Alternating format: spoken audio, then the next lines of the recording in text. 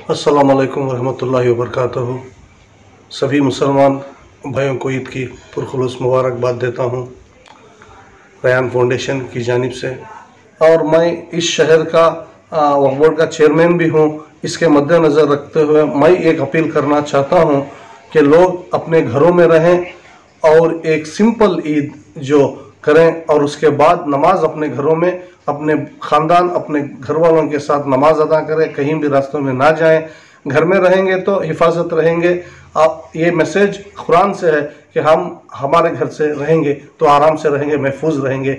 इसलिए सिंपल ईद मनाइए इन आने वाले दिनों में। इस, इसमें हम सब की भलाई है, कौम और मिलत की भी भलाई है।